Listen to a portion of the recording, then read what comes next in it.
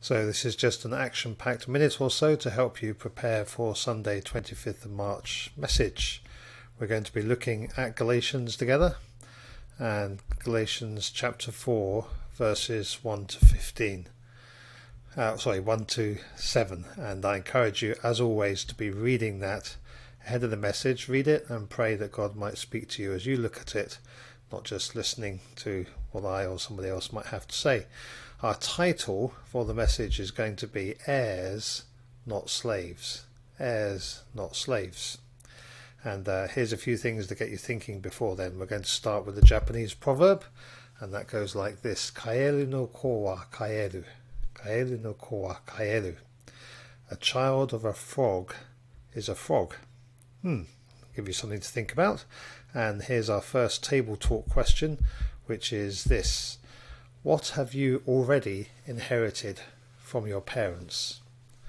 What have you already inherited from your parents?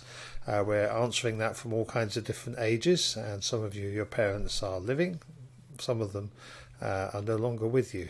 Nevertheless, we can all answer the question uh, What have you inherited from your parents? And then the second question, uh, getting topical, on Friday, that's yesterday as I record this, the High Court quashed charges of theft and false accounting against many former postmasters. If you were one of their children, how has your inheritance changed?